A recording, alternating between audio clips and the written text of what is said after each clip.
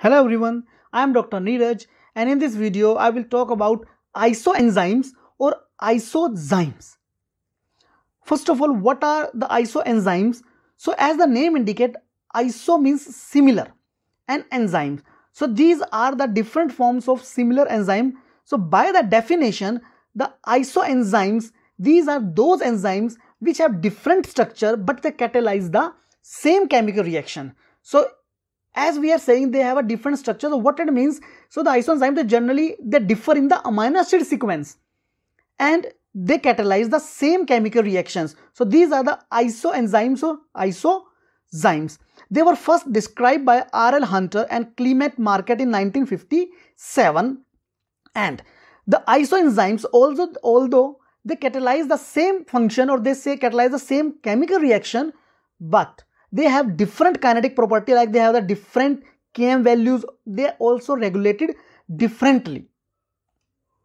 Now let's discuss some examples of these iso enzymes so first is lactate dehydrogenase enzyme. This enzyme it catalyzes the reaction that it convert this lactate into this pyruvate molecule.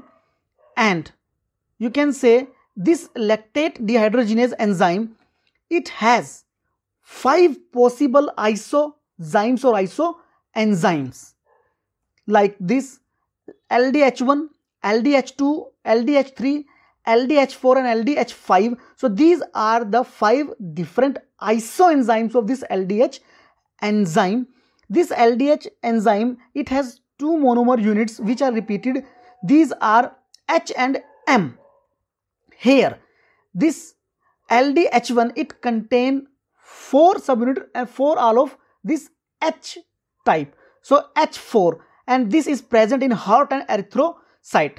In the case of LDH2, it has the configuration H3M means it, ha it has 3 H molecules and 1 M molecule and it is also present in heart and erythrocyte. Then LDH3, it has configuration H2 M2 because it has two H molecule and two M molecules. It is present in the brain and kidney. Next LDH4. So its configuration is HM3. It is present in skeletal muscle, muscle and liver. And LDH5 it has configuration M4. It do not have any H molecule so it only have the M monomer. So here it is LDH5 present in the skeletal muscle and liver. Now the next enzyme is creatine phosphokinase which catalyze the reaction of phosphocreatine to creatine. And this creatine phosphokinase has three isoenzymes which are CPK1, CPK2 and CPK3. So this CPK1 it consists of two monomer that is BB and it is present in brain while this CPK2 it consists of one B and one M monomer present in heart and this CPK3 it has both M monomer that is M2 and it is present in skeletal muscle. The next example of isoenzyme is alkaline phosphatase enzyme.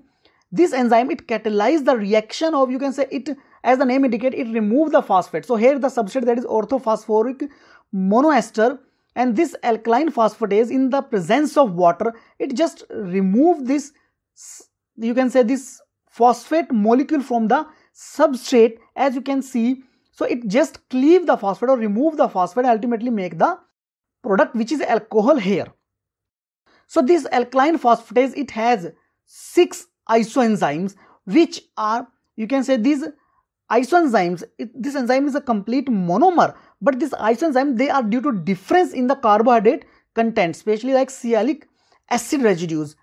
These are the isoenzymes of this alkaline phosphatase.